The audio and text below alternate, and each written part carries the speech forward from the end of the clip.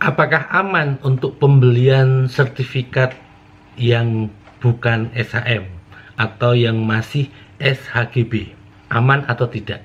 Simak terus videonya.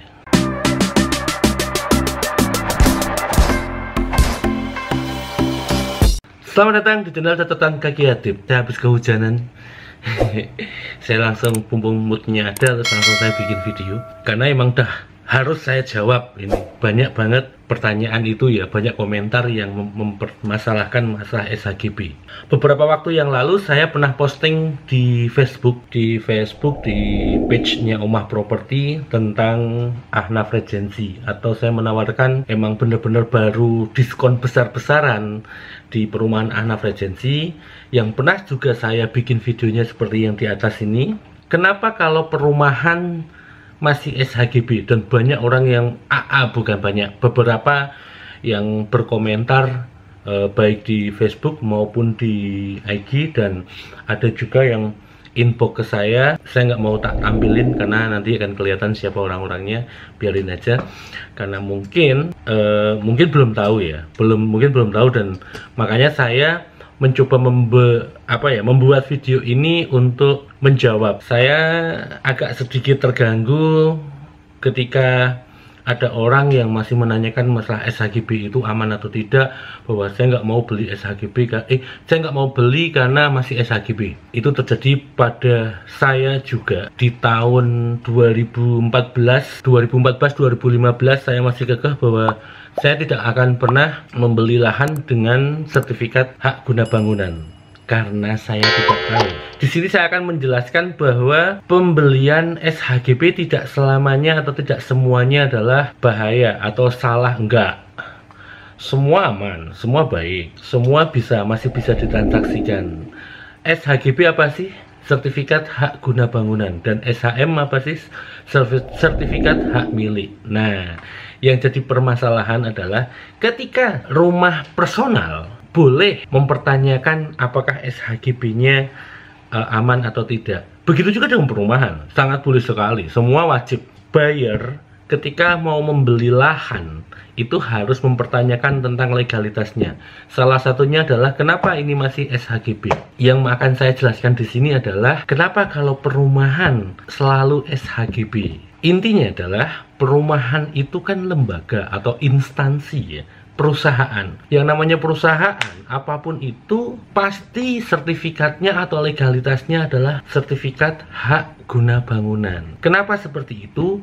Sudah pernah saya bahas di video sebelumnya tentang uh, siapa yang bisa menjadi developer seperti di atas. Silahkan klik di atas di situ saya menjelaskan saya ngopi ngobrol properti sama Pak Nyoman di situ juga sudah menyinggung kenapa yang namanya perumahan itu sertifikatnya selalu SHGB. Itu sudah dibahas ya di atas ya.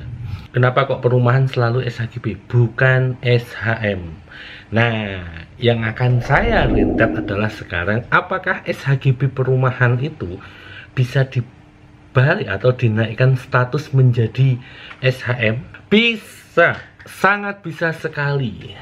Sangat bisa sekali untuk diubah menjadi SHM apa aja ketentuannya, syarat-syaratnya apa aja. Ya, saya hanya akan berpesan bahwa kepada semua buyer yang akan beli rumah, baik itu dalam perumahan maupun kaplingan atau dalam perkampungan, ketika menemukan uh, legalitas yang masih SHGB atau sertifikat hak guna bangunan atau hak guna bangunan, itu silahkan mempertanyakan kepada agen propertinya atau kepada marketing propertinya atau sama broker propertinya. Apakah ini bisa dinaikkan? SHGB menjadi SHM karena di Jogja ada juga yang tidak bisa dinaikkan. Salah satunya adalah ketika kita membeli lahan SHGB keraton atau kancingan atau magersari itu tidak bisa di, dijadikan SHM karena aturannya memang seperti itu. Nah, kalau dalam perumahan harus dipertanyakan dulu. Tidak semua perumahan loh bisa diubah menjadi SHM. Sedangkan SHGB masa aktifnya itu bisa sampai 20 tahun atau ada juga yang 30 tahun tergantung itu masa aktifnya. Nah, dari situ ketika kita sudah membeli perumahan, apakah uh, membeli rumah dalam perumahan, apakah bisa dinaikkan di menjadi SHM? Bisa. Yang saya akan bahas adalah perumahan-perumahan yang bisa. Salah satunya adalah perumahan Ahnaf Regency. Saya bisa meyakini perumahan Ahnaf Regency bisa dinaikkan statusnya menjadi SHM ketika nah, ketika itu berarti syaratnya apa aja? Ini khusus yang perumahan atau rumah hunian yang bisa dinaikkan menjadi SHM. Nah, syaratnya adalah yang pertama, sertifikat asli SHGB. Sertifikatnya harus ada, itu yang pertama. Yang kedua, IMB rumah tinggal. Nah, ini kuncinya adalah sertifikat asli. Ketika itu SHGB, sertifikat asli ada yang pertama. Yang kedua adalah IMB rumah tinggal.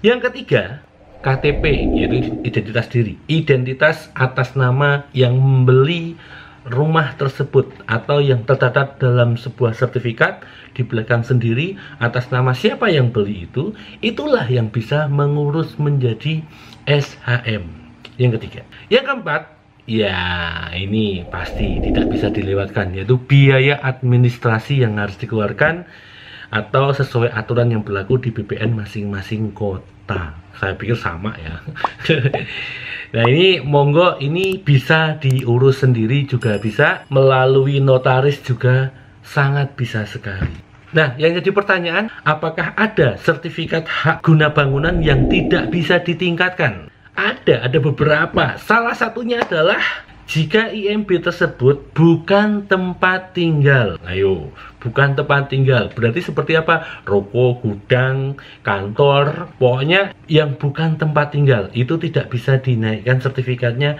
tidak bisa dinaikkan menjadi SHM loh kalau andekan tanah itu milik saya dan saya mau ya berarti ya diubah dibongkar dulu diganti terus pengajuan baru baru bisa. Karena kalau perkantoran ruko itu kan untuk publik ya kan? Dan itu ada ketentuan-ketentuan tersendiri yang sudah diatur oleh sudah diatur oleh pemerintah. Jika sistem pembelian itu kredit atau mulai perbankan ya KPR ya rumah tersebut dalam kondisi HGB kan dalam perumahan itu rata-rata pembelian rumah apalagi dalam sebuah perumahan yang e, mereka harus melalui bantuan perbankan. Nah, itu gimana untuk menaikkan statusnya? Apakah itu bisa dinaikkan statusnya? Bisa. Harus melalui sistem penyelesaian kreditnya dulu.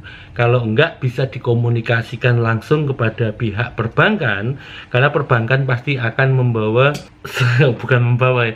Perbankan itu satu paket, baik itu tentang notaris tentang semuanya. Biasanya pengurusan itu satu paket. Sehingga buyer ketika mau menaikkan sertifikat tersebut berarti ya harus komunikasikan langsung dengan pihak perbankan atau perkreditan. Ya, atau mungkin ketika sudah tinggal satu tahun dua tahun untuk penyelesaian perumahan tersebut atau kredit tersebut baru diproses ya mendingan selesaikan dulu aja kreditnya. Ketika sudah selesai roya sudah keluar sertifikat sudah keluar langsung diubah statusnya menjadi sertifikat hak milik. Biasanya yang terjadi adalah pembeli akan akan ogah karena melihat itu atau akan akan berpikir ulang karena melihat itu sertifikatnya masih HGB iya betul. Saya juga sering menemukan calon pembeli yang selalu menilai melihat sertifikatnya kok HGB itu ah enggak ah ah enggak malas ah ah enggak mau. Ah itu banyak yang seperti itu. Jadi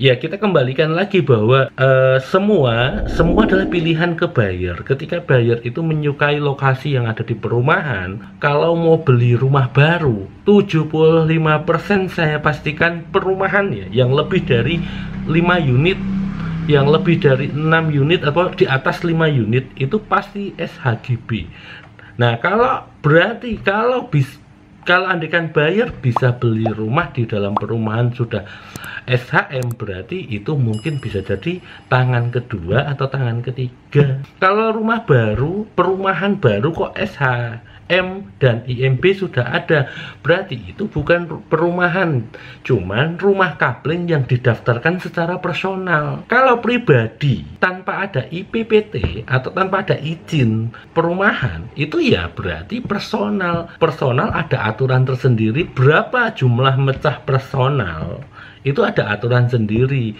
Nah, kita kembalikan lagi bahwa semua adalah pilihan lagi-lagi. Pilihan ketika mau atau bayar mau membeli rumah. Legalitasnya seperti apa?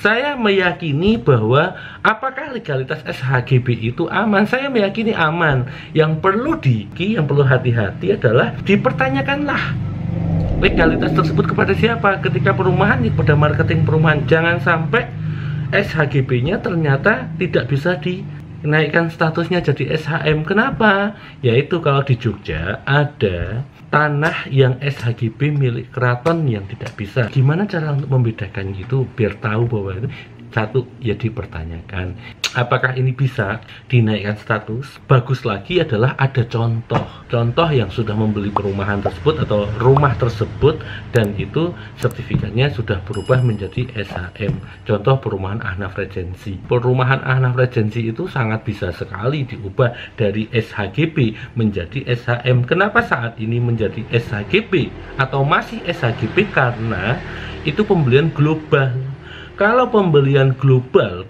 banyak dengan luasan yang banyak dan itu dipecah menjadi lebih dari lima atau lebih dari empat itu kan harus atas nama PT harus izinnya izin perumahan bukan personal sehingga sertifikatnya adalah sertifikat SHGB dan IMB pasti akan keluar ketika nanti rumah sudah dibangun sesuai dengan aturan yang didaftarkan di set plan.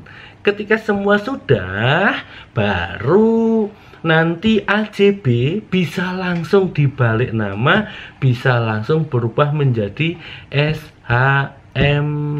Begitu kalau perumahannya tidak bermasalah tapi kalau perumahannya bermasalah baru akan susah. Makanya untuk menghindari itulah tanya yang baik-baik kepada marketingnya. Apakah ini bisa diubah? Ketika marketing menjawab bisa ada contohnya ada itu baru dibeli perumahan itu. Nah pada intinya adalah apakah pembelian SHGB itu aman aman masa aktif SHGB itu adalah 20 tahun sampai 30 tahun ke depan dan itu masih bisa diperpanjang kalau tidak mau dinaikkan status. Makanya kalau pertanyaan pertama adalah apakah aman saya pastikan 100% aman. Oke begitu aja. Sedikit penjelasan dari saya tentang SHGB atau syarat menaikkan status dari SHGB ke SHM jika masih ada salah-salah, saya mohon minta dikoreksi. Jika ini bermanfaat, ya Alhamdulillah, monggo bisa diberbagi kepada teman-teman yang lain. Di wacana ya, menjadi wacana kagem bayar-bayar yang mau beli lahan di perumahan. Tidak semua perumahan adalah baik, tidak semua perumahan adalah jelek.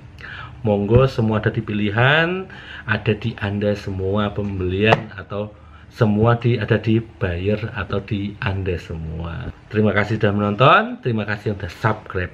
Semoga video ini bermanfaat. Saya Adib Nukman. See you next. Bye.